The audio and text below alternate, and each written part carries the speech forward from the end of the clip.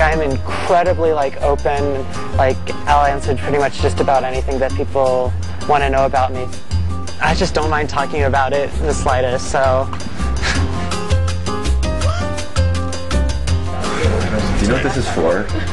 it's for a documentary on transsexual students in college. Are you serious? Mm-hmm. So why are they videotaping us?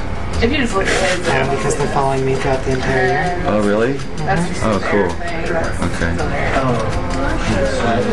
Nancy, do you know? I didn't know. I didn't know. I never would have thought it. I mean, I don't know. I mean, like, I never would have thought it at all. Sorry. Then I recopied it all. Does that just mean that it is as a, a test to make sure it's not?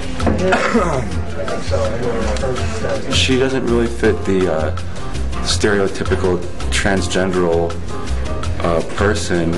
I mean, I'm not even sure I understand what transgenderal really means.